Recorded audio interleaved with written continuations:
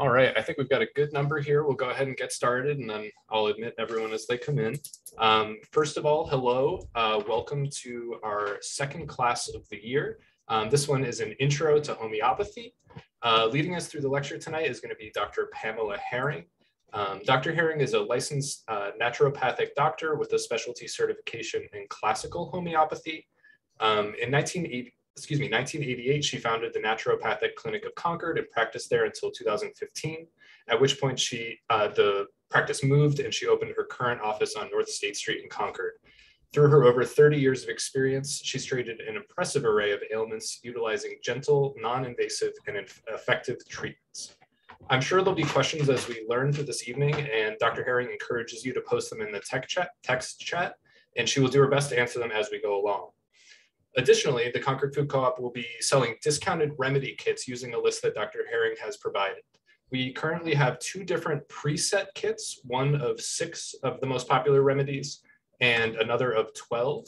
Um, they're both about 20% off of the retail price. We'll also be offering a custom kit um, in case there are specific remedies that interest you, um, uh, sorry, more specifically interest you. Um, for any of the preset kits or the custom kit, um, please call the store and you can ask for me. Uh, my name is Zane, or you can send me an email at zane at concordfoodcoop.coop and I'll post that in the chat um, towards the end of the class. So without further, excuse me, without further ado, I'd like to welcome Dr. Pamela Herring and invite her to take it away. Okay, well, good evening, everyone. I am uh, uh, delighted to see so much interest in homeopathy and I welcome you all tonight. Um, this gentle, this safe, this really um, wonderful form of medicine um, has had its ups and downs, and I'm going to talk a little bit about the history um, to start. But let me uh, share my screen, and we'll dive right in.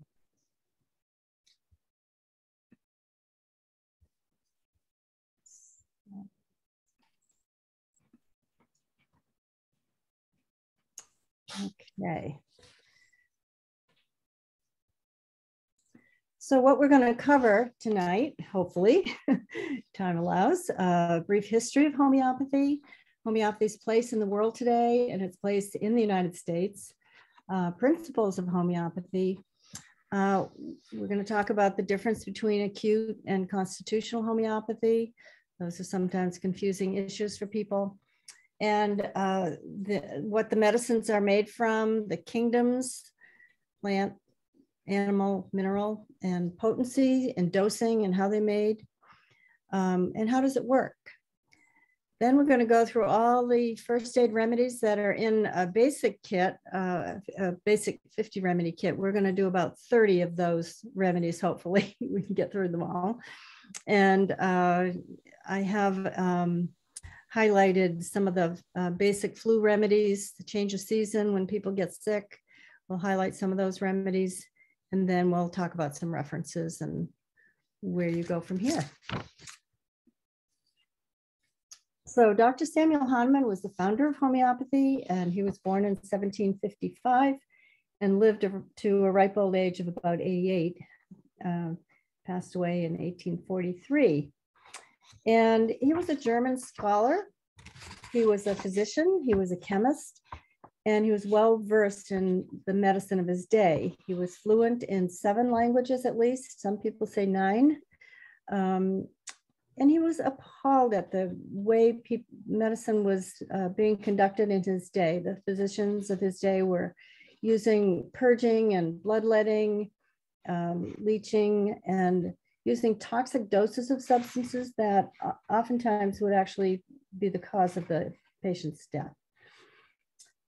He left his medical practice. That's how um, disenchanted he was with it. And he became a medical translator. And uh, among some of the things he was translating, he came across a statement about cinchona bark.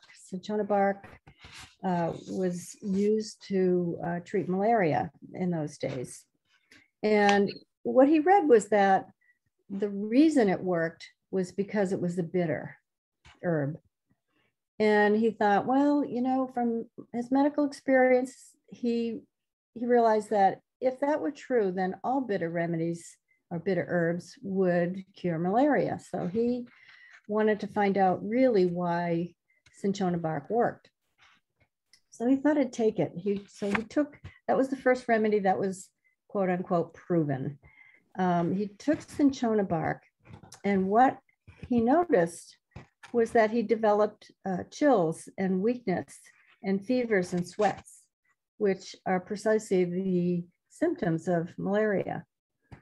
And so he, from that, he deduced that that's it was a similar that that this herb produced a similar disease to malaria, and therefore it would be able to treat malaria. This principle he called the law of similars, or like cures like. And uh, he did find also that that uh, authors such as Paracelsus and Hippocrates uh, referred to this principle in their writings as well.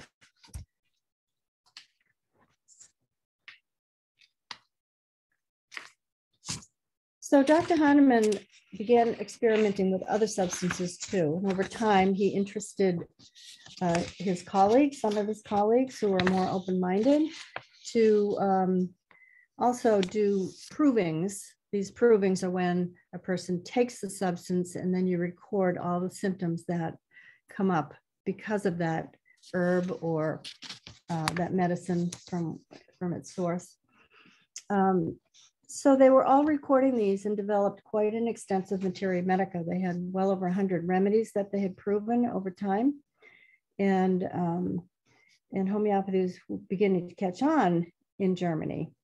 And this was, uh, and at the same time, Dr. Hahnemann was quite stern about his opinion uh, of the medicine of his day. And so he was not very popular amongst uh, the majority of his colleagues um, to the point where he was actually exiled or forced to leave Leipzig and then ultimately forced to leave Germany.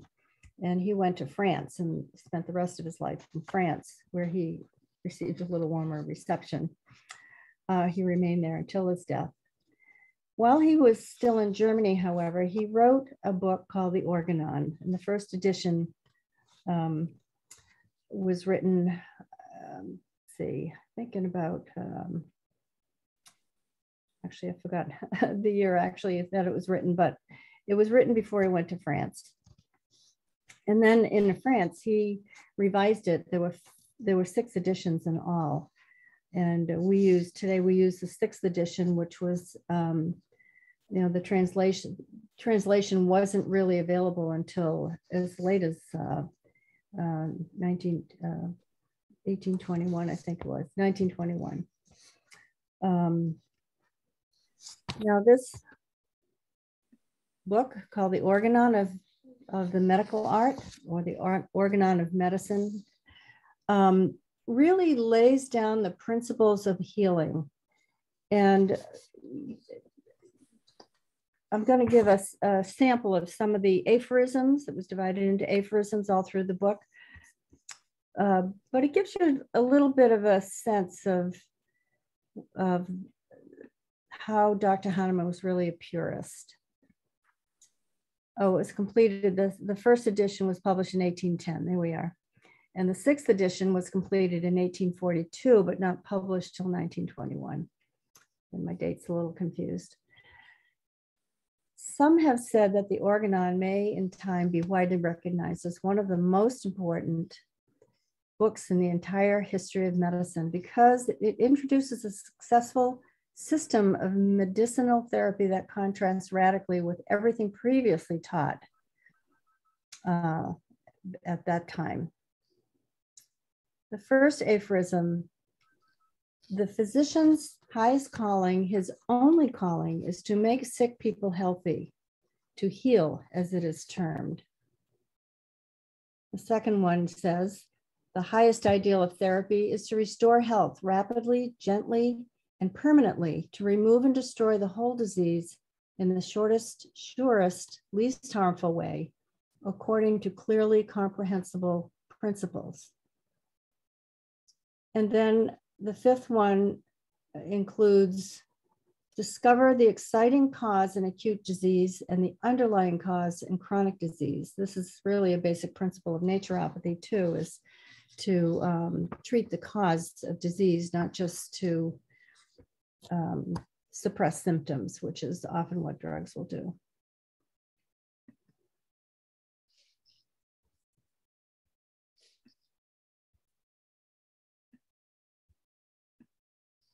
To move the the pictures so I can see the text here. There we go.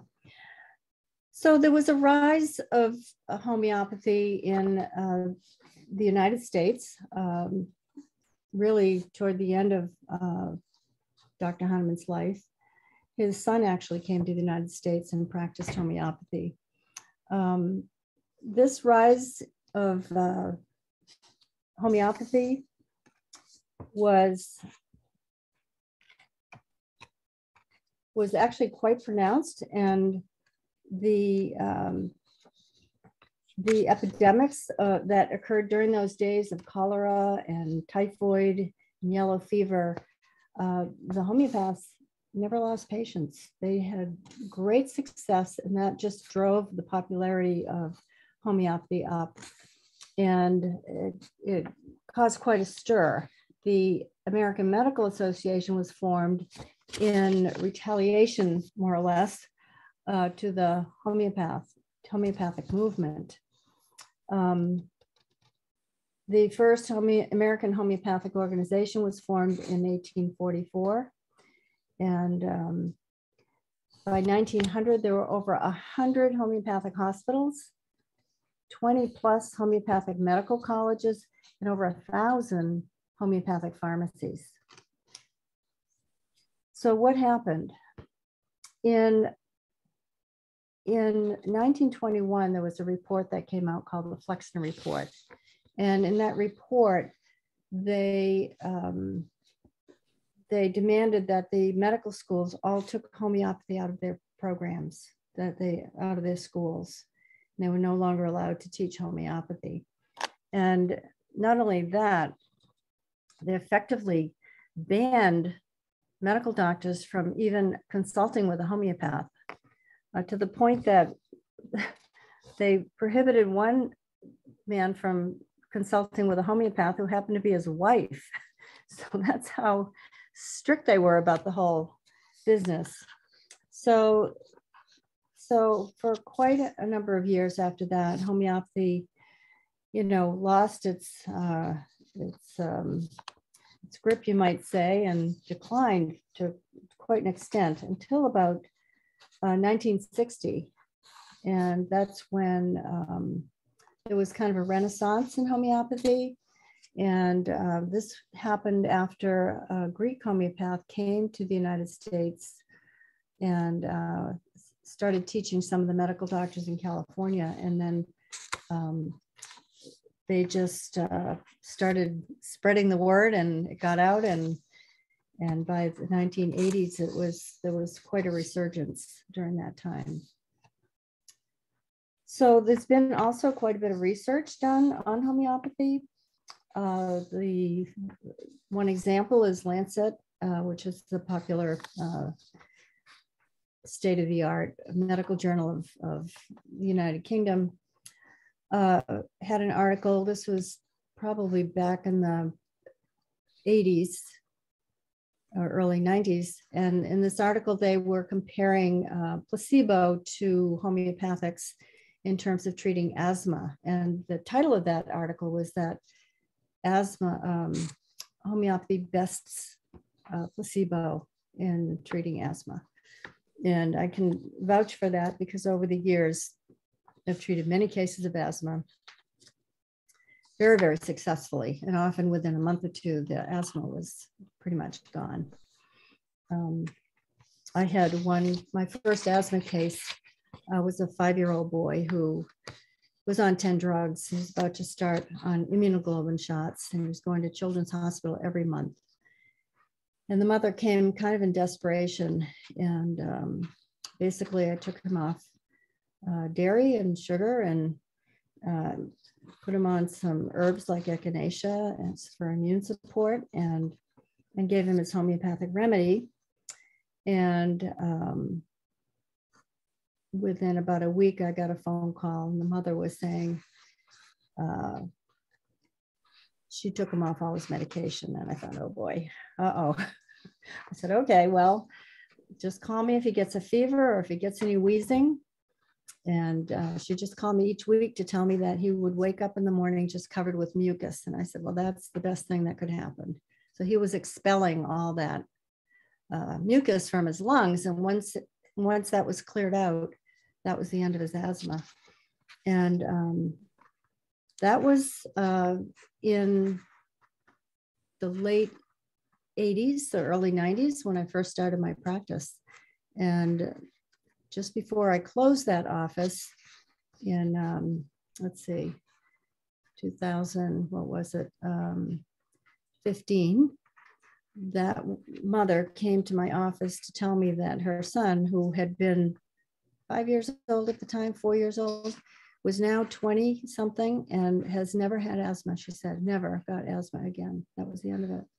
So that's how, just a glimpse of how effective and how safe. No, I don't always recommend they take them off all their drugs like that, but until we see some results. But it worked in his case, and uh, he had enough immune support that it really kept him. Um, he was okay. So um, the legality, there are no laws preventing lay people from using homeopathy. However, a practitioner uh, is required to have a medical license that includes homeopathic medicine. The Naturopathic Doctors Practice Act in New Hampshire, which was passed in 1995, does include homeopathic. So we um, are free to prescribe them. Um, as far as the education of homeopaths, uh, homeopathy is taught in all the naturopathic schools some of the uh, osteopathic schools also have homeopathic courses. And, um, and then there are schools strictly for homeopathy, like the New York School of Homeopathy, which is, I think now it's an online course possibly, uh, then, or the New England School of Homeopathy in Massachusetts. And there are many others too around the world and around the country. Now let's see, I have to move these pictures again to get at my arrows. There we go. Maybe I can do it this way. No. There we go.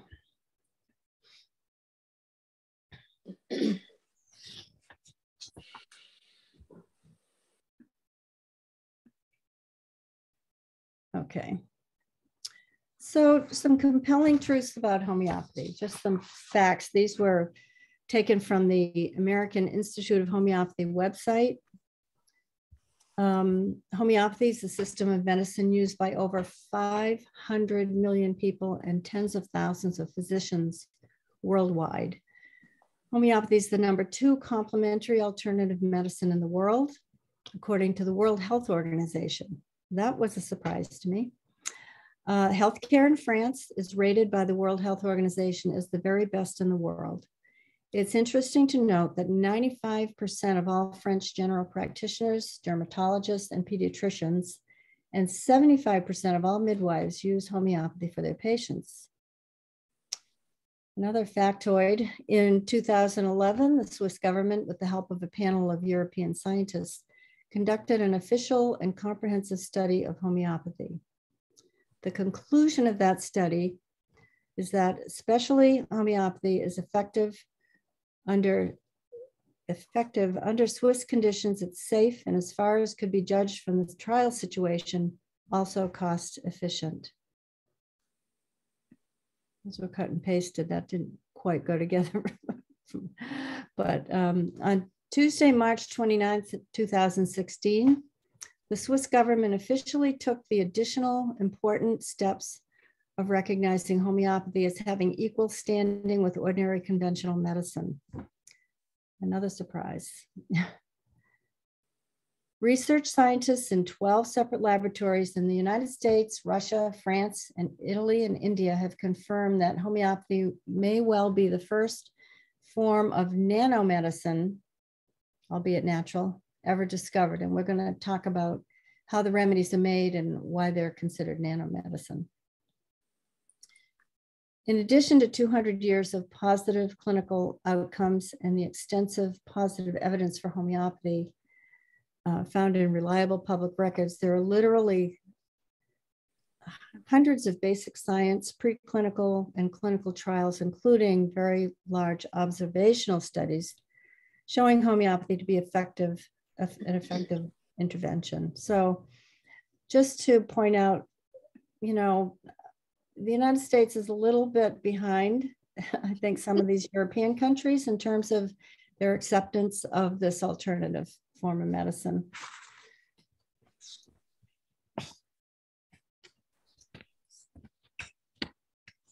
So let's go to some of the principles of homeopathy.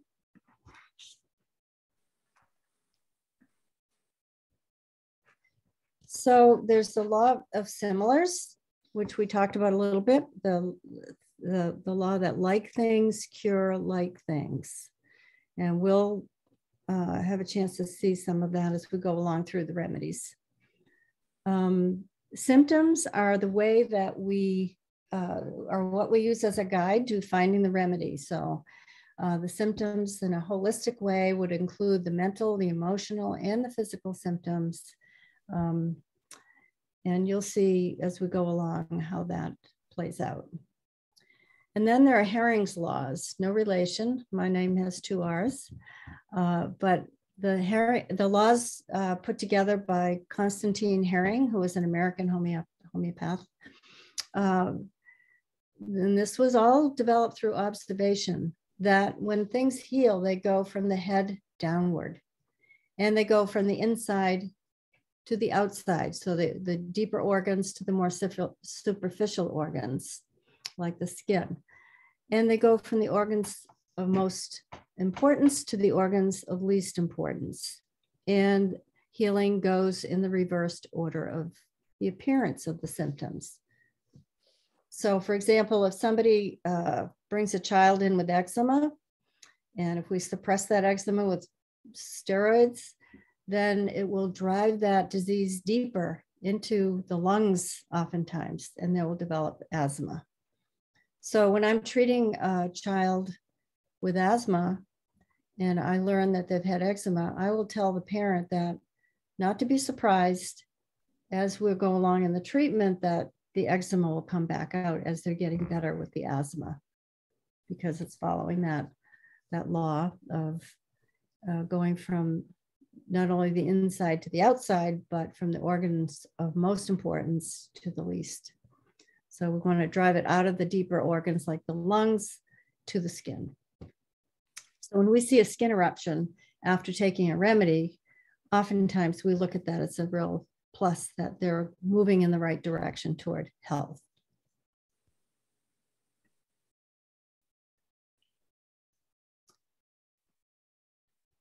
Whoops.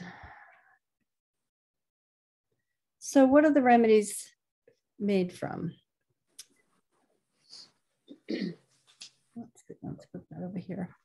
So uh, the remedies are varied. They range from snake venom to squid ink to windflower to salts. And uh, they are from all of the, the three main kingdoms, the animal kingdom, the plant kingdom, the mineral kingdom, which is the periodic table of elements. And, and certainly the compounds that are made from the elements and virtually anything can made, be made into a remedy. Any substance can be made into a remedy by serial dilution, by making a tincture and then serial, serially diluting it. Many poisons are used as medicine, uh, toxins, uh, venoms, um, and plant, plant toxins um, are some of the best medicines we have. So they're made by serial dilution and potentization. So, uh, for example, it'll be perhaps one part remedy to 10 parts of a diluent. The diluent might be water, it might be alcohol, or it might be a mixture of the two. Um, that would be a 1x remedy. If we took one part of that to 10 parts of water, one part of that dilution to one 10 parts of water, then we'd have a 2x.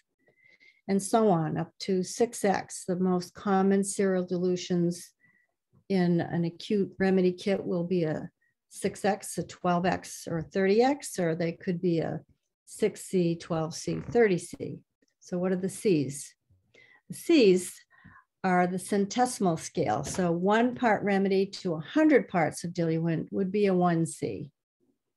And one part of that dilution to 100 parts of water would be a 2C. We commonly use 200C for a high potency remedy, and those are mostly used for constitutional prescribing um, and, and not for acute prescribing, although occasionally for acute. Uh, but I recommend that um, people who are beginning to use remedies start with the the C potencies because they're strong enough to do a, a good job, and and uh, the 6C, the 12C, and the 30C, or the 6X, 12X, 30X. And I believe the kits that uh, Zane was talking about, I believe they're all 30C remedies. Now, we also do dilutions of one part of uh, the remedy, the substance, to a thousand parts of water, which is a 1M. M stands for a thousand in the um, uh, Roman numerals.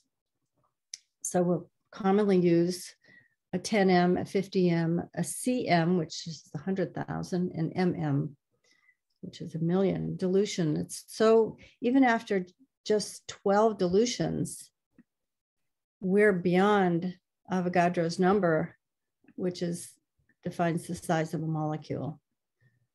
So, I can't seem to find a good place to put the pictures. Sorry, I have to keep moving them around so I can see the screen. After 12 serial dilutions of one to 10, we have an infinitesimal amount, a very, very, very tiny amount, less than a molecule, as I said. And uh, between each dilutions, Dr. Hahnemann would succuss the remedies. He would, you know, just bang them on a book, you know, just in the, in the vial and succuss it. And there was something about that succussion that that increased the energy of the of the uh, remedies. So in his words, he said, "This very subtle dose, which contains almost nothing but the spirit-like medicinal force released and freed, can bring about solely by its dynamic power results impossible to obtain with crude med medicinal substances, even in massive doses." we are beginning to understand, to better understand the importance of these diluted remedies as we learn about nanoparticles. These nanoparticles uh, that have an effect on the vital force. When we do these dilutions, it's now been discovered that nanoparticles are left in that water uh, after with each solution, and those nanoparticles have an effect on the vital force before people thought it was just uh, placebo, but now they're actually, with the help of these electron micro microscopes, can see that there's actually something there. So what is the vital force? Homeopaths believe that as long as you're alive, there exists within you a living, intelligent energy that's responsible for healing and maintaining balance in your body, mind, and emotions.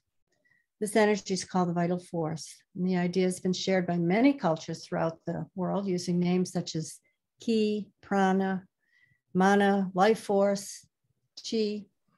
Although the vital force is intangible, its effects are readily apparent.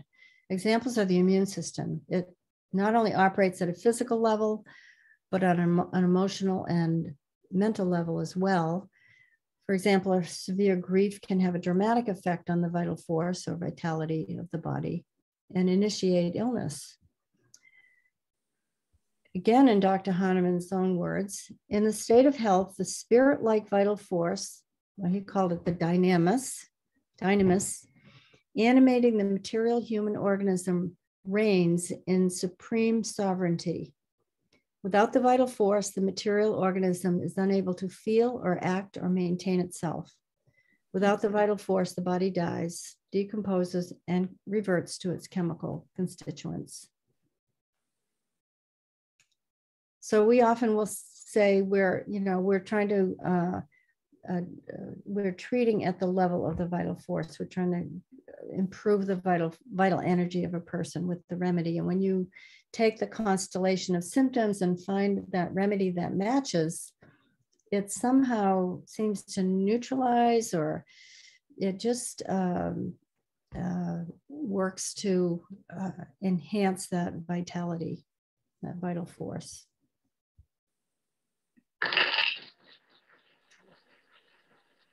Sorry about that. I couldn't figure out how to erase that. This slide was from an old, older program that had this.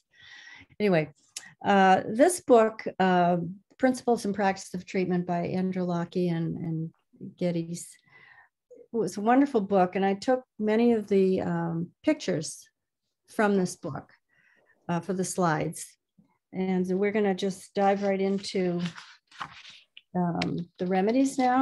Uh, but before we do, I wanted to ask Zane if there were any questions that came up that um, I don't, uh, oh, here's the chat. Yep, looks like there was one okay. question. Oh yeah, I got this. Okay. So does a homeopathic doctor need both a traditional medical degree and additional homeopathic training? Um, there are many lay homeopaths. There, there uh, people who practice homeopathy who don't have a formal medical training, uh, but they do have a homeopathic training. And in some of those schools, they do include some physiology and anatomy.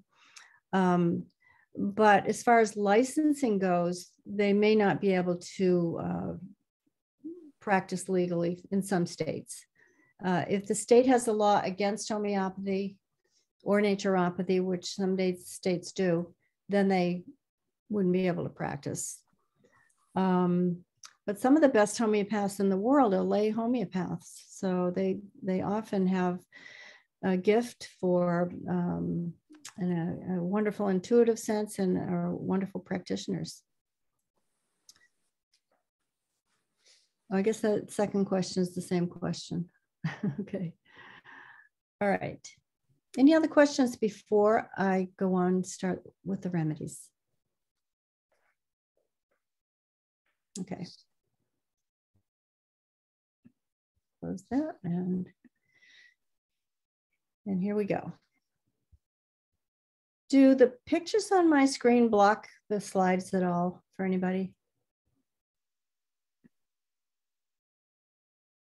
Zane, can you answer that? I don't have an issue on my end. Okay, so they're not, they're just blocking it for me. Okay. Okay, so the first, so you can see the word at the top clearly because half of it's blocked for me. Okay. So the first remedy we're going to talk about, and these are actually in alphabetical order as we go, is Aconitum napellus. Aconite, um, it's called monkshood. And as, if you look at the flower here, can you see my arrow, by the way? Okay, so if you look at the uh, flower, it looks like a little monk, doesn't it? A little hood. So that's why it's called monk's hood. So this remedy is a remedy that's often used for um, something that has a sudden onset, like a cold or a flu. Um, or maybe they've been out in a dry, cold wind and they the next day start sneezing and coughing and and and getting sick. So dry cold wind can be the initiation or um, maybe a fright um, has initiated their uh, illness. They may have a fear of death or a panic attack. They are anxious and restless. They may have an intense thirst and with a fever, they'll have hot, dry skin rather than sweaty. That's a just a brief picture of somebody who might need aconitum as their remedy. This is Allium cepa, common onion. And we all know what it's like when you're peeling an onion and your there's little particles float around and your eyes start weeping and burning and so on. This is one of the proving symptoms of onion. Onion uh, or allium, patient who needs Allium uh, uh, gets a headache when they have a cold and they're worse in a warm room, they're better in open air. If you ever had the flu or a cold and you're all stuffed up and you just want to open the door in the middle of winter and breathe that cold air and it relieves you, that's that would be an allium symptom. Um, headache, worse closing the eyes because you know there's irritation in the eyes profuse tearing of the eyes and it's usually a bland discharge in the eyes and the nasal discharge will be acrid or excoriating be uh, sore under the nose uh, so hay fever is um, something a condition that might respond well to allium cepa or any kind of a cold that has this constellation of symptoms. Apis mellifica, this is the honeybee. And the honeybee is often used uh, for any kind of condition that looks like a bee sting. So we have redness, swelling, pain. Um, it's actually a pink red, pinkish red, not a bright red uh, for APIS. Uh, it can be given for anything that produces those kind of symptoms. So even a sunburn, for example, which is red and sore and sometimes gets itchy. Uh, insect bites and hives. These would be uh, conditions that would warrant possibly uh, APIS for the remedy. Uh, the skin, like I said, can be bright pink, and it's not bright red, it's more of a pinkish red. Better with cold applications, worse with heat. You notice my little uh, marks, the, the, the arrow going forward is better and the arrow going backward is worse. So worse with heat. And DDX means differentially diagnosed. So um, I have a differential diagnosis for ledum, um, another remedy which um, can be used for insect bites, puncture wounds, and uh, symptoms of cold. But the cold, um, they might have, uh, it might even be something like a sprained ankle, but the foot is cold. This, that's the unique thing about ledum. Uh, so it doesn't have the coldness, it's probably not ledum.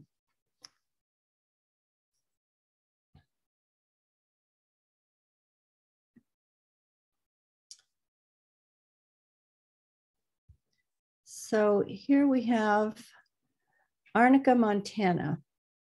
Arnica is probably my most favorite remedy of all because it is so useful.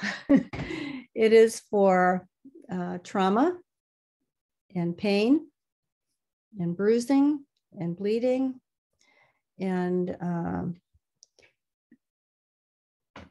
this remedy was discovered by observing the goats on the hillside. And when they got injured, they would go and eat this plant, and it was the arnica plant, and it would restore them from whatever injury they had. So it's a great remedy for any kind of trauma falls, accidents, surgery, um, fractures, bruising, muscular aches. It's also a good remedy for shock. Um, and the after the emotional um, aftermath of, of a trauma. Um, Princess and the Pea, the bed is too hard, no comfortable place. They can't get comfortable. They're worse from touch and jarring and exertion, and better from cold applications. And they're better from sitting or lying outstretched. Um, one of my dramatic arnica cases was when my daughter was giving birth to my first grandson and i happened to be there and he um, when he came out he had the cord around his neck and he was blue he recovered fairly quickly and with every aspect except they couldn't get his temperature up to normal so course i had my homeopathy kit with me there and asked if i could use a remedy and they the doctor and the midwife both said yes. So I asked uh, someone to get me some distilled water and an eyedropper, and I just let the remedy uh, dissolve for a few minutes in the water, and I put a little squirt of that in the baby's mouth. And within 25 seconds, his temperature was normal. And this was after over half an hour of trying to get it to get him to warm up. And they were going to take him away from my daughter, who objected to him being taken away. So that's when I asked about the remedy. Uh, subsequently, that doctor went and studied homeopathy for two years, and the midwife became a naturopath and a homeopath. So it was actually a very uh, uh, a great lesson for all of us. What to do?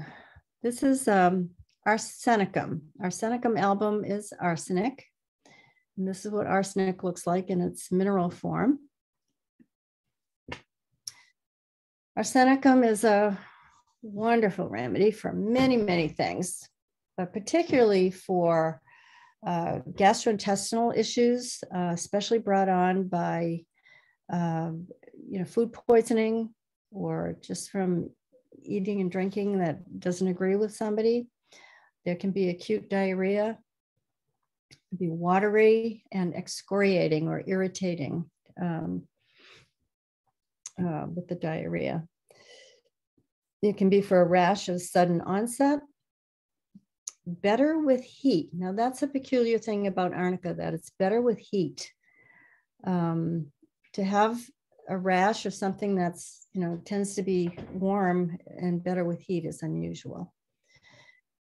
Um, a lot of anxiety, uh, with flus and colds, there can be a low grade fever. They tend to be chilly, they tend to be fairly fastidious and orderly, and they love consolation. Uh, they can be proud but dependent and needy. It's a great hay fever, asthma remedy, especially if there's restlessness. If there's a sore throat, they like warm drinks. They have burning pains often that are better with heat. So we call these um, SRPs, strange, rare, and peculiar symptoms. When somebody has a burning pain, it is unusual for them to want a hot compress, but this remedy might have that. And they have a thirst, but they have trouble assimilating water or liquids. So they might just take a sip. And sometimes if you go into the the, the room of a patient who's sick with um, in, our, in, in a arsenicum state, you'll see three or four glasses of drinks and there's only a few sips out of each. So they, they want something to drink, but they can't drink very much. Very hard for them to drink. Arsenicum constitutionally, I'll just add uh, uh, a note about constitutional prescribing uh, here because um, and, and we tend to use higher potency remedies, especially with the emotional state and the sleep state and the dream state. Um, but it's a great remedy for people who are dying because a lot of times there's a lot of anxiety. And this remedy can actually help them to cross over with much more peace. So it's uh, often considered constitutionally for somebody who's who's making that transition. Belladonna. Belladonna is deadly nightshade, you probably know. Uh, belladonna is used in conventional medicine for stomach problems, uh, vomiting, and, and uh, gastrointestinal upsets. We can use it for that in homeopathy as well. Like aconitum, the first remedy we talked about tonight, belladonna can have the sudden onset of a symptom colds, sore throats, ear infections, lots of head congestion, high fever. They can even be delirious, intense sweating. And of course, our, our aconite has uh, will get a high temperature, but without the perspiration. They're they're dry. So belladonna can go either way, but if it's there's a lot of sweating, it's more likely to be belladonna.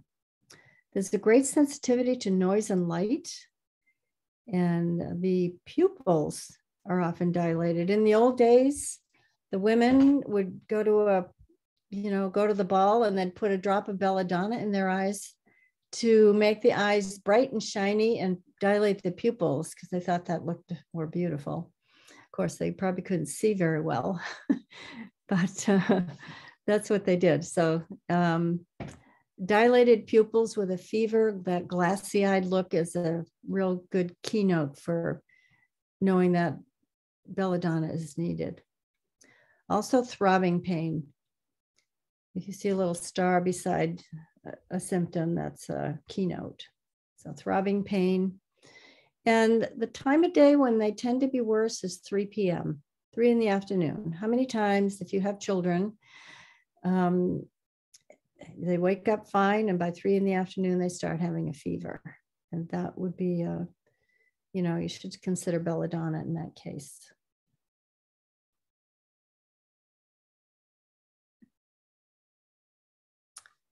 this is bryonia bryonia alba and it's off uh, what's used for the remedies is the root which you see here and bryonia is a great flu remedy. It's one of the top flu remedies. Uh, so for changes of season, this might be a remedy that's called for when uh, people tend to get sick. With bryonia, there's intense thirst for cold drinks. There is fatigue. They have uh, headaches with the aching uh, and knife-like pain. Bryonia is worse with motion of any kind. And in fact, they like hard pressure because they're trying to keep the part still. So let's say they've injured their arm, they might just hold themselves tight so that so so that it doesn't move.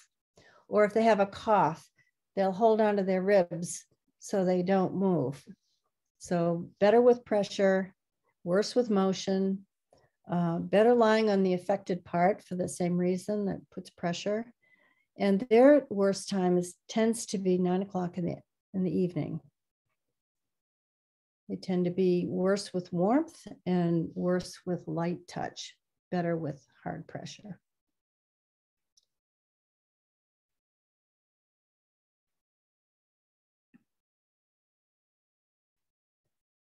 Remedy for postnasal drip. Yes, we'll come to one. okay, well, just want to check the messages there. Okay. So now we have Calcarea carbonica. This was actually the remedy for that little boy that came in with the asthma that I talked about. This is a very common remedy. It's a big children's remedy uh, constitutionally. Um, children that are more chilly and tire easily. They might have perspiration on the head and on the feet. And the perspiration often has a sour, sweaty, uh, the sour has sour smell, and their stools can too. Stools can be kind of greenish and, and sour smelling. Uh, with the constipation that they tend to have, they have large stools and often plug the toilet, even little children. Um, they can be a little bit stubborn and they don't like change. So, child who uh, might play quietly doing something, and his mom comes along and says, "Okay, it's time to go," and he resists because he wants to finish what he's doing. They don't like change. they they like to finish what they're doing and take it slow.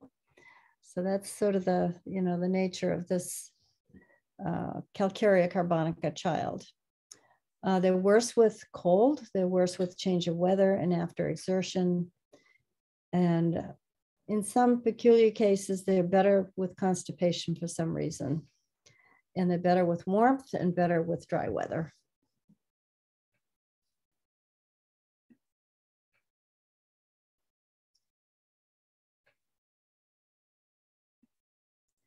So here we have chamomilla, we all know the story of Peter Rabbit, right?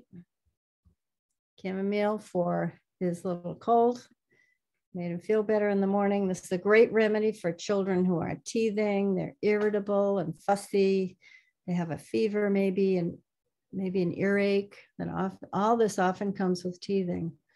A keynote to chamomilla is that one cheek might be red and the other cheek pale. Their discharges from the nose or stool are greenish, like calcarea. And we often will di differentially diagnose this remedy with pulsatilla because it has a very similar look as chamomilla. um, pulsatilla tends to be more mild, chamomilla more irritable.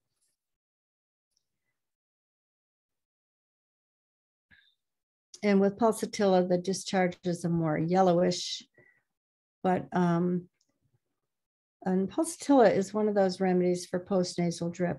It's a good one for that.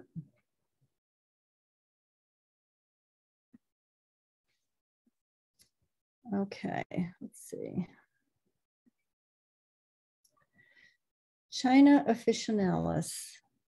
This is cinchona bark. This is the remedy that Dr. Hahnemann first uh, proved by taking it, and it's the remedy for malaria and the symptoms that resemble malaria.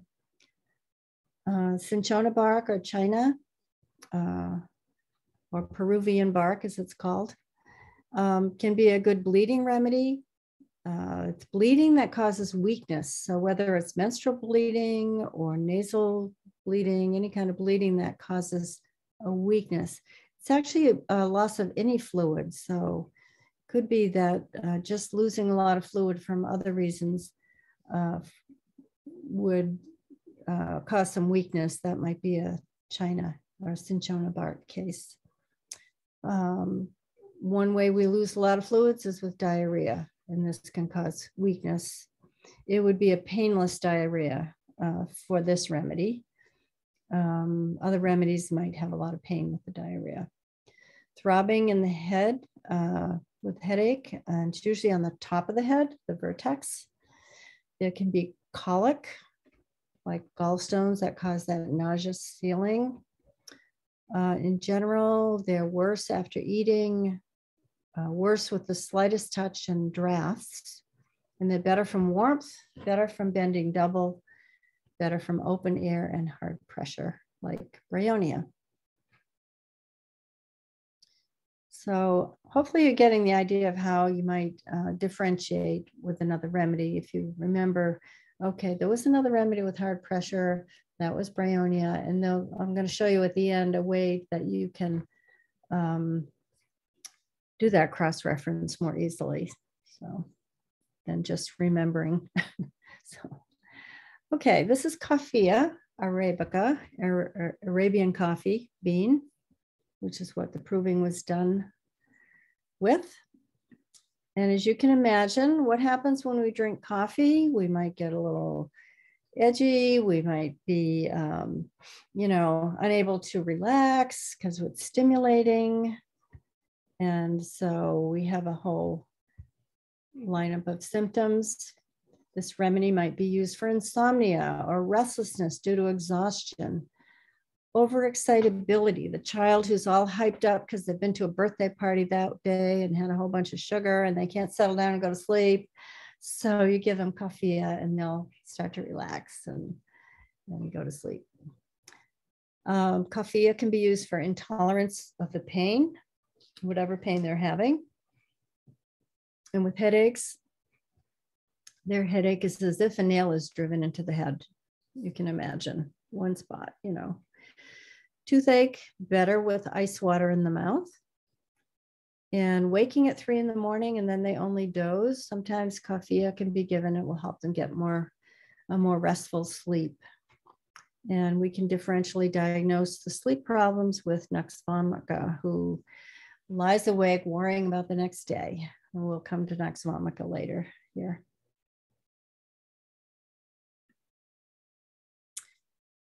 Euphrasia officinalis, this is a great remedy for allergies and for that postnasal drip and watery eyes and all of that. So hay fever, photophobia, but mostly around the eyes, eye bright, that's what it's called. And, but they also have a bland nasal discharge and it's profuse.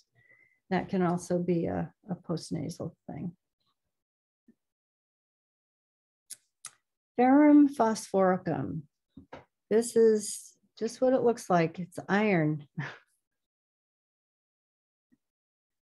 so what do we use fer ferrum phos for? Uh, we use it for the flu. Early stages with a gradual onset. Now, belladonna, if belladonna fails, we can give ferrum. But ferrum um, differs a little bit in that uh, it's a gradual onset, whereas belladonna can be a sudden onset, and aconite can be a sudden onset as well. So often these three remedies are differentiated for something like the flu. Um, the eyes can become red and inflamed uh, with ferrum phos in that state. They can be kind of nervous, sensitive, and anemic, whereas belladonna might be a little more lethargic and, you know, um, children with a tendency to nosebleed, this might be a remedy for that as well. Nice thing about homeopathy is if you have the wrong remedy, nothing happens usually. So, you know, sometimes we need to try one and then try another, and that's okay. This is gelsemium. Gelsemium is probably the El Primo flu remedy. so again, change of season, the main flu remedy. Um, with gelsemium, we have a weak, dull, droopy, heavy feeling. Uh, I don't know if years ago they had, used to have these ads on TV for Dristan, uh, over the counter Dristan, and they'd have a picture of somebody who was obviously really very dull and very, you know, lethargic and droopy and heavy. Uh, they can have some trembling, shivering, chills.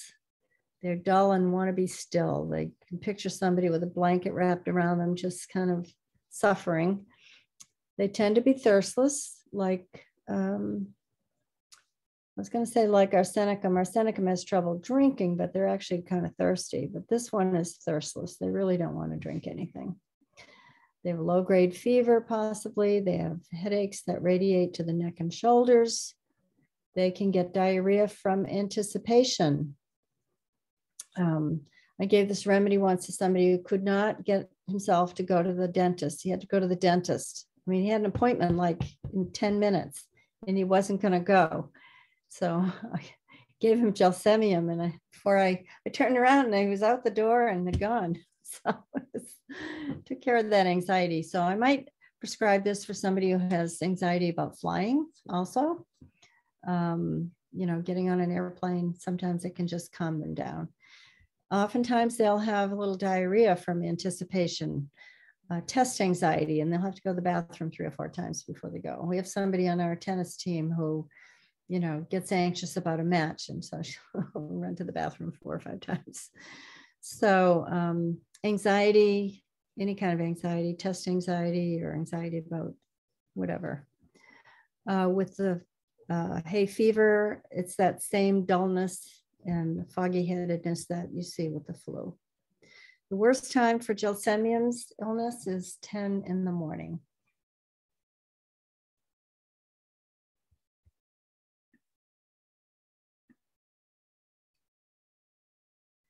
Question, um, would you use eyebright for an eye that tears with the wind and chemical smells?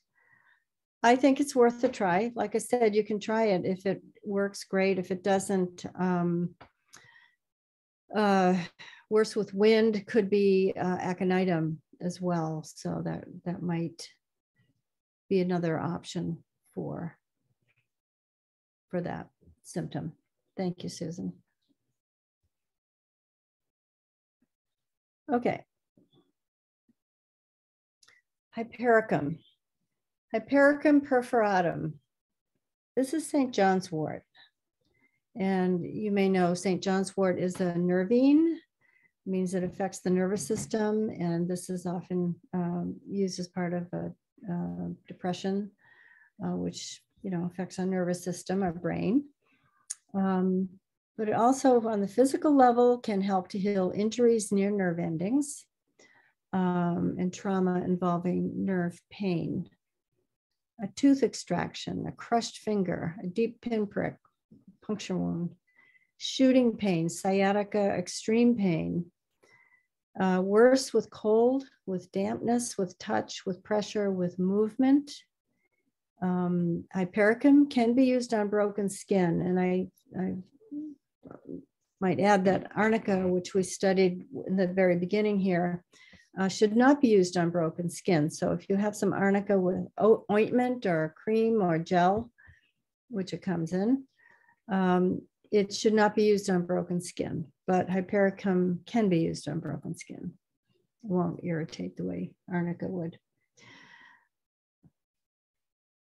So I have a little hypericum story. Uh, a friend who was skiing with her husband, and she was um, had taken my first aid prescribing class years ago. This happened years ago. Um, so they were skiing, and her husband, who happened to be a doctor, uh, ripped a fingernail uh, partway off, and it was very, very painful. So he had snow wrapped around it, and she was running to get her homeopathy kit and came back and and brought hypericum and tossed it in his mouth. And he he told me this story later, and he said she had no sooner put that remedy in his mouth that had barely hit his tongue, and he said the pain was gone. And so he became a, a real believer in homeopathy. He was quite skeptical in the beginning when his wife was learning homeopathy, but became a became a, a real um, supporter of homeopathy. Thanks to Hypericum. Ignatia amara. Now, Ignatia is a remedy that is wonderful for grief. It's a big grief remedy. It's St. Ignatius bean. So these are beans here. Ignatia, the Ignatius state, in the Ignatius state, they tend to have contradictory symptoms. So they might be, for example, nauseous, but they're better with eating. Makes no sense, does it? But that's the way Ignatia is. So, um, oversensitive to emotions, to pain, to odors, especially tobacco and perfumes, things like that. A lot of sighing and yawning, with this grief. Um, they can be actually irritable with their grief.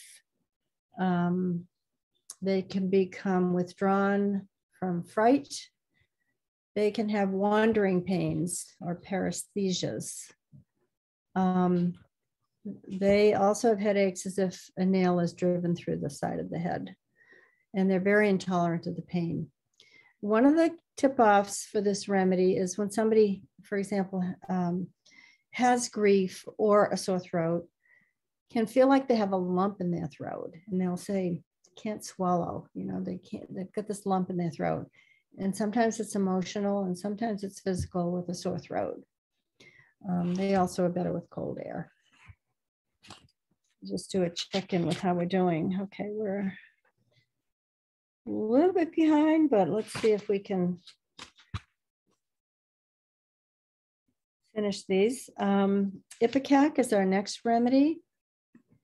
And you probably know Ipecac is kept in the house for people who have some kind of poisoning. It will cause them to vomit, right?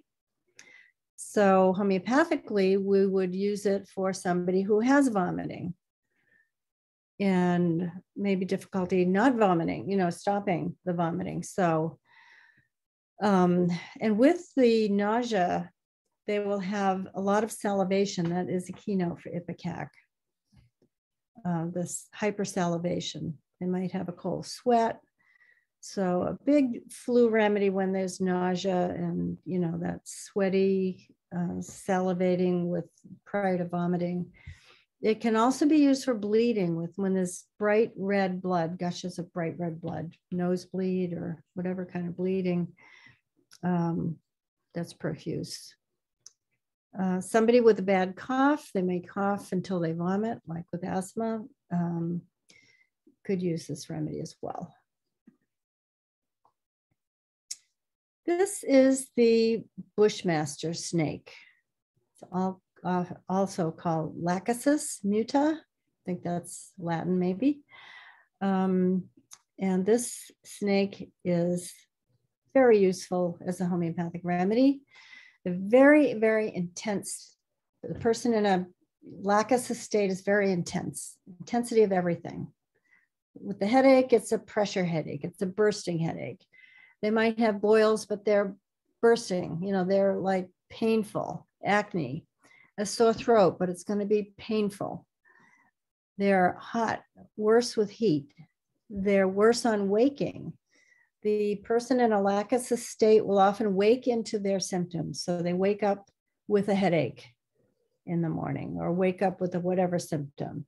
It's a great PMS remedy, uh, premenstrual syndrome, and it's often a left sided remedy.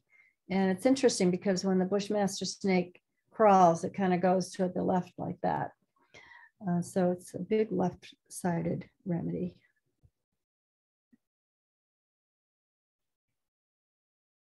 Question Do you use certain remedies for COVID or does it depend on the individual? Uh, it would depend on the symptoms. We'd use them in the same way so that if their symptoms were more gastrointestinal, we'd use remedies that have that aspect. If they were more headachy and, um, you know, would use more remedies for that. So again, you take the case based on the symptoms and you apply the remedy that matches. Good question. Okay. Next is Lycopodium clavatum. Lycopodium is club moss. This is a very common moss here in New Hampshire. You'll see it in the woods, kind of viney-like moss. This is a great remedy for digestive problems, gas and bloating and loud rumbling in the abdomen, sour burps or irritations, heartburn, uh, the worst time of day is four to eight in the afternoon, early, early evening. That's a classic time where they get, you know, uncomfortable. Um, on the constitutional side, somebody who's in like a lycopodium state can be kind of a have a personality that's domineering and a bit of uh, bullying, but it's usually due to a lack of self-confidence Again, that's on the constitutional side. You don't, you wouldn't necessarily see that with somebody who's just suffering from gastrointestinal problems. But if you're, just wanted to throw in a few uh, aspects for constitutional prescribing just for your information. Uh, this is a right-sided remedy, so their symptoms will tend to be on the right, of course. mercury, Mercurius solubilis, solubilis, and it's named Hahnemanni because he did the proving for this early on, because this was one of the remedies that they commonly used that was so toxic it would often do the patient in. With mercury, there's intense salivation, mercury poisoning, or if somebody's in a mercury state, is how we term it.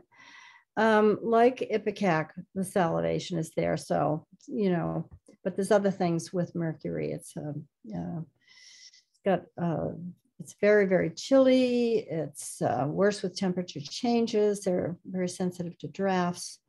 They're worse with perspiration. Um, they can have open sores. It's a very syphilitic state a very deep state. So these open sores, pus and greenish discharges, boils. So taking this remedy, you know, Hahnemann almost killed himself a few times taking uh, too high a dose when he was sampling some of these remedies. Uh, boils can be a, part of a mercurius state, foul odors, sore throat with much pain. Could be a lot of bad breath with that sore throat. Ear infections that are, you know, goopy and a lot of pus. Uh, symptoms are worse at night.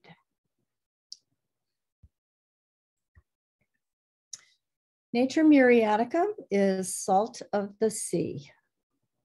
So this is a great remedy for colds with a lot of sneezing and watery nasal discharge. Uh, that's usually the consistency of egg white and irritates the nose. The nose can be stopped up and there can be a loss of the sense of smell or taste. So, I mean, this might be worth trying for somebody who's lost the smell and taste from COVID. Actually, I would give it a try. I haven't haven't hadn't thought of that until I was preparing this slideshow, so I might try that with a few patients now. Uh, worst with a warm room. Again, they like to put their head outside in the cold. uh, when they have all this sneezing and uh, stuffiness. Their worst time is 10 in the morning, kind of like gelsemium, remember? And they're also worse from noise. They like quiet. Um, this is also a grief remedy. This often is the chronic, like somebody who's Ignatia, the, in the Ignatia state that we studied earlier on today, tonight, um, is a grief remedy. And Natrum Muriaticum is very, um, very much like a constitutional or a, a, for the chronic state of uh, grief, um, big grief remedy disappointments, brooding, worse consolation, and they can be sleepless from their grief. It really, and they withdraw. They kind of withdraw. Nux vomica. This is poison nut. You can see it's what it looks like here. This is a big digestive remedy and usually from excess eating and drinking. Uh, it can be heartburn and nausea and empty retching and sour burps. If they have a headache, there's irritability with it and drowsiness. They tend to be worse in the AM in the morning and can this can be a great remedy for a hangover, by the way. Uh, it's also a big remedy constitutionally that we use for addiction. Um, it can really um, lessen the tendency to um, uh, to use um, a drug, drugs or alcohol. Um, on the digestive side, the diarrhea can be frequent but small amounts and can be accompanied by a backache. That is poison nut. Sorry to have to rush through these, but uh, I wanted to cover uh, an array of remedies for you, but uh, each of these remedies, there are pages and pages on each remedy, so there's a lot more to it. But for acute prescribing, this hits some of the highlights for you. Uh, phosphorus is phosphorus. Needs to be kept underwater because it catches fire spontaneously on exposure to air. Um, very effervescent, very uh, spontaneous, and phosphorus constitutionally is very um, animated. Um, for our purposes, phosphorus uh, is a big bleeding remedy. Uh, can be bleeding from the nose or the gums, heavy menses, um, small wounds that bleed profusely with bright red blood. Uh, it's also a good remedy for coughs, coughs that can have chest pain, um, they're worse with motion, worse with cold air and laughing, uh, worse from lying, especially on the left side. And laryngitis, big laryngitis, hoarseness rest, uh, remedy. They tend to crave ice cold drinks, kind of like bryonia. And they're worse being alone and worse in the dark. Phosphorus can have a lot of fears which is why they don't like to be alone or in the dark. So big remedy for laryngitis and for bleeding and for coughs and lung issues and a high thirst. This is pulsatilla. This is windflower, little purple flower. Pulsatilla is a great PMS remedy. It's a big remedy for ear infections in children, especially when they're mild mannered kind of kids, so shy, sweet, placid. They like to be held. Whereas chamomilla, that we compared it to before, they want to be held, but as soon as they're held, they want to get down. And then when they're down, they want up. That's chamomilla. Pulsatilla is more content to be held, and they're not so irritable. They can be weepy though. The nasal discharges are thick yellow to green. They tend to be worse at night and from a warm room. They can have pressure in the ear. They want fresh air and they can be thirstless, even with a high fever. They tend not to want to drink.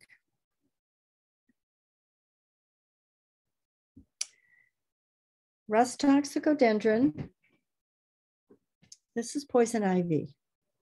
You notice the three leaves. Now, so rhus toxic rhus toxicodendron or rhus tox we call it is the big flu remedy. A lot of aching you know aches and pains um, stiffness uh, that go with the flu. This is um, these are keynotes for using rhus tox. Uh, they're restless. They move constantly to find a comfortable position it's used for strains and sprains um, they're better with first motion. So somebody who's in a rhus tox state, they'll get up and they'll be stiff and trying to move. And as they move, they feel better. And then towards the end of the day, as they get tired, then they don't want to move again. They have more pain with motion. So um, they have a thirst for cold water or milk. They like milk. That's kind of a peculiar thing. And it was that symptom, the desire for milk, craving for milk, actually, that led me to this remedy for one of my asthma cases. And it cured her asthma just like that, the 15 year old girl. um, let's see, better with heat, better with continued motion. now, some people use this for poison ivy. I tend to use another remedy for poison ivy first. It's anacardium. We're not going to I'm not going to be doing that remedy, but uh, I don't usually use rhus tox because sometimes it aggravates it and makes it worse. Uh, that's been my experience.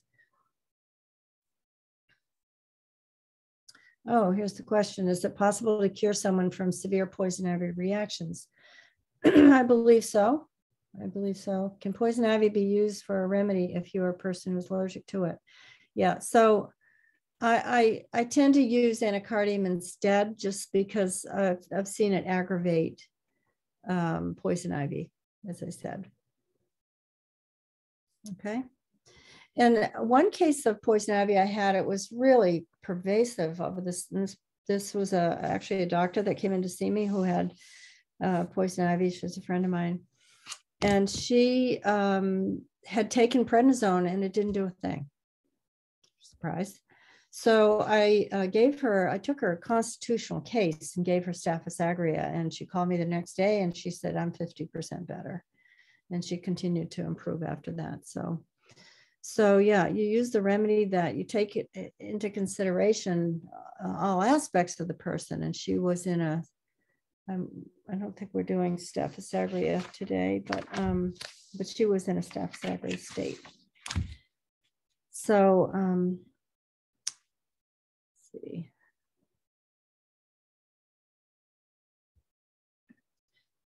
Sepia officinalis. Sepia is squid ink. That was a squid, in case you didn't recognize it. squid ink, the ink of a squid. Um, this is a great remedy for female problems. Constitutionally, we use it all the time for women with hormonal issues uh, hot flashes and all kinds of things.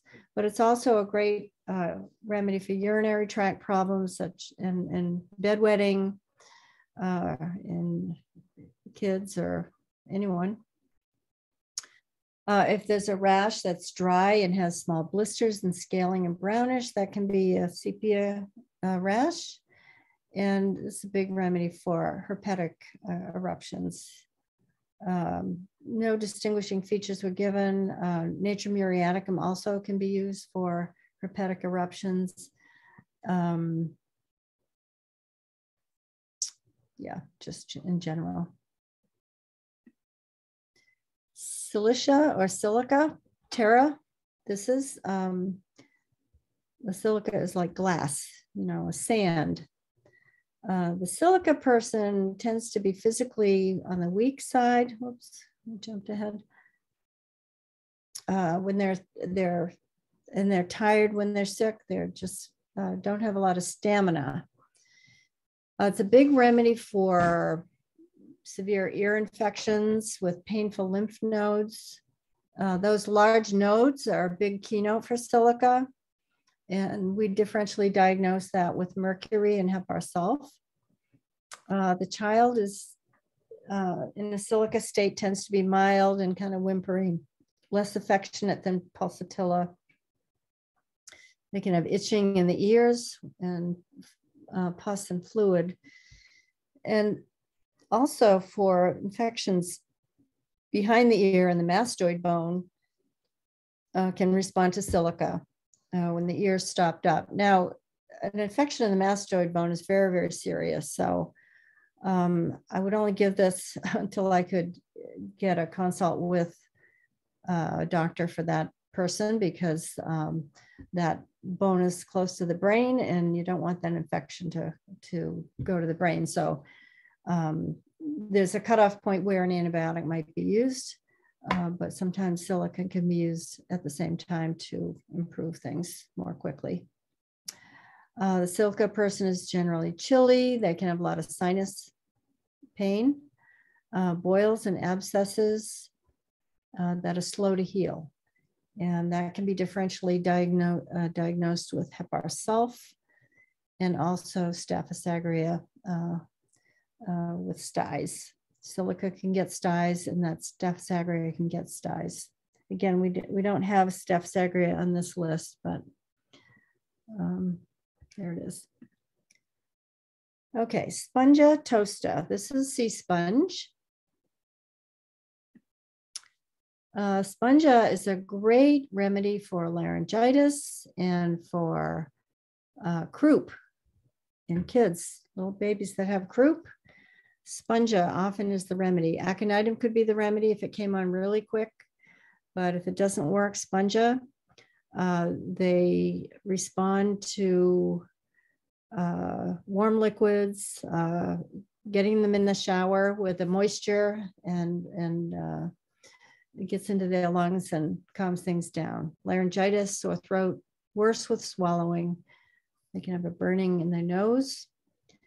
Uh, this is another remedy with uh, exposure to the cold weather and drafts, kind of like aconitum, where cold, dry wind can bring on uh, this state.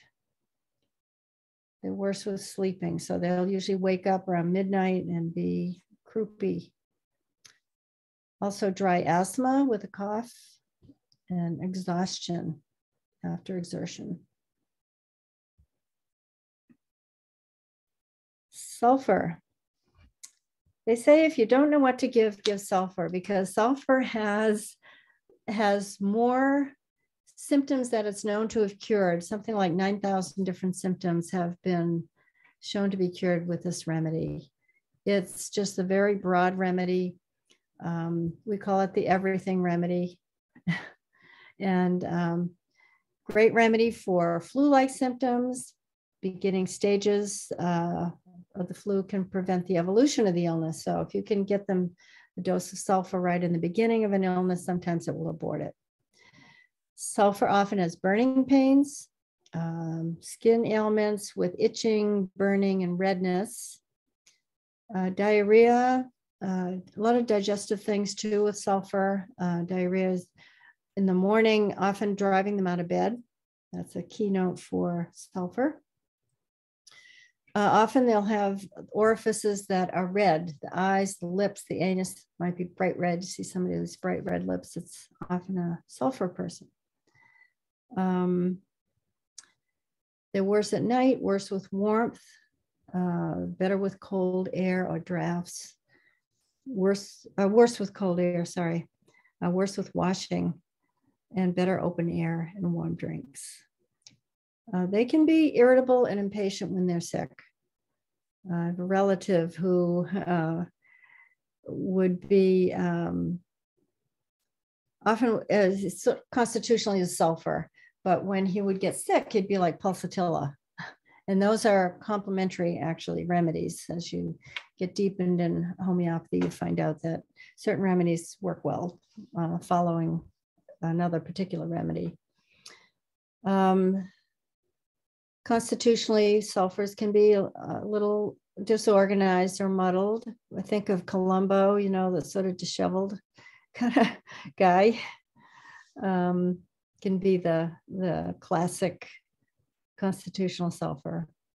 Uh, they tend to be hungry at 11 in the morning. They don't want breakfast earlier than that, but by 11 o'clock, man, they got to eat.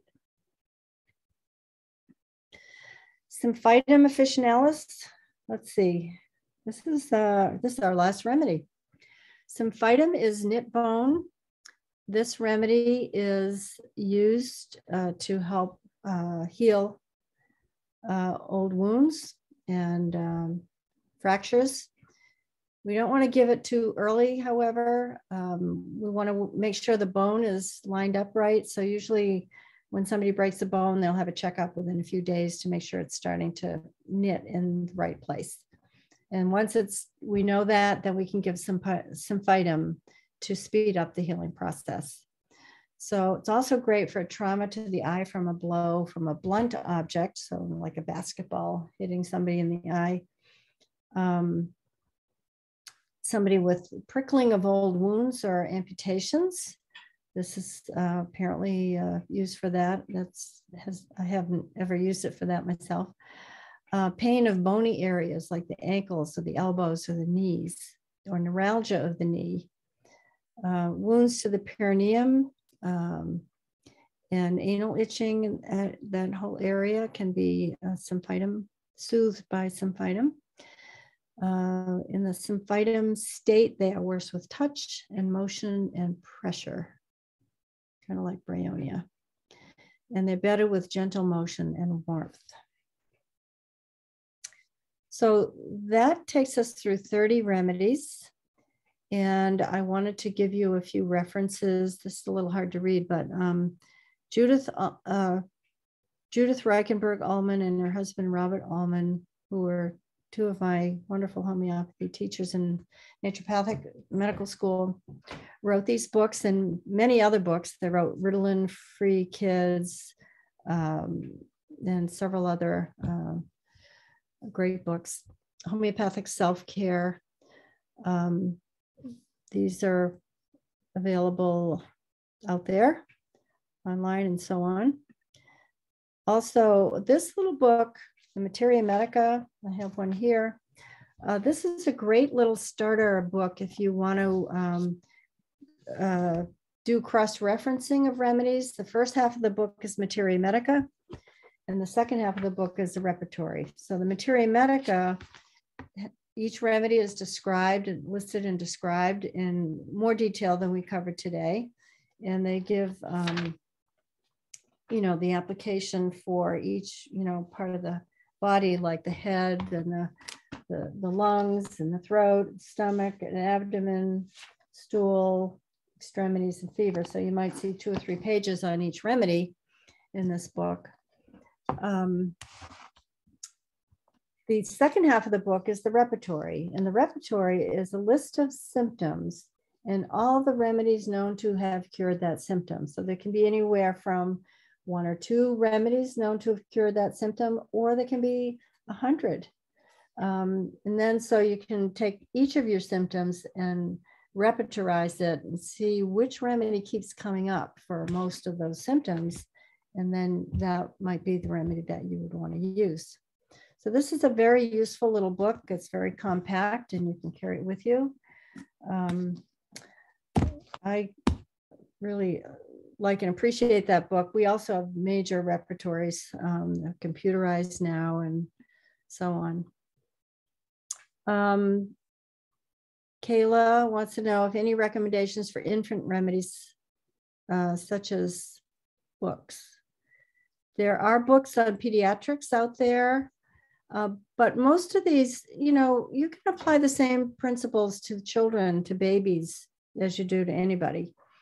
Um, and some of these acute remedies that we've gone over today are the those are some of the most used remedies. Really, one of my homeopathic teachers said 80% of all things can be dealt with with these 100 remedies that he presented to us. So, so uh, and I lean heavily on those remedies, and they do work. And some of these more obscure remedies that, you know, you want to treat with what is it, horses, not uh, whatever that saying is um, can't remember now.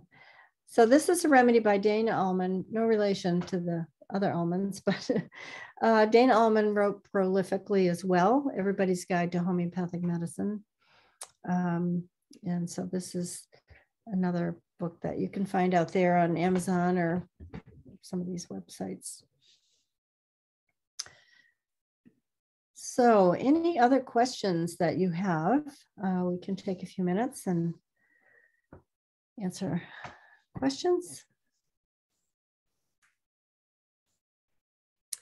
If there are no questions, then I will say thank you to all of you for your attention and for joining us tonight and for your interest in uh, homeopathy. I love to see that it's still alive and well out there in people's minds and hearts. And um, uh, I wish you well in your journey. Looks like if you're, we might have one question actually. Just popped oh, I chat. see.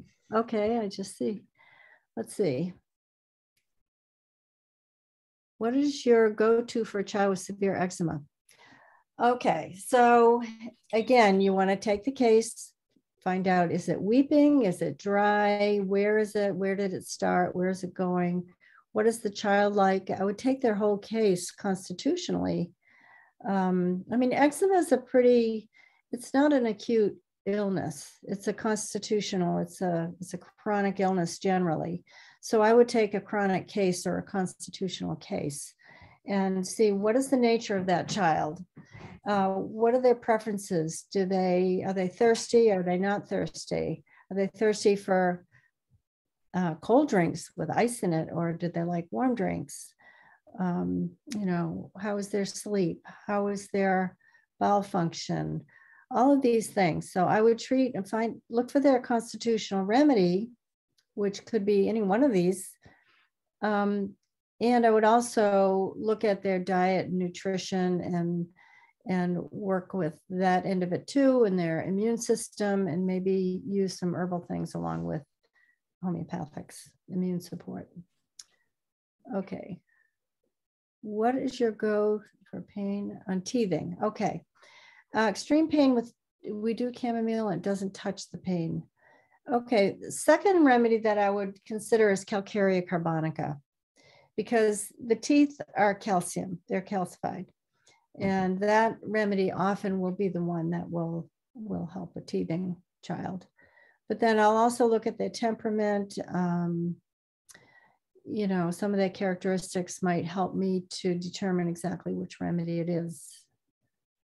Uh, 10 month old for reference. Okay. Yeah. Okay. Very good. Any other questions?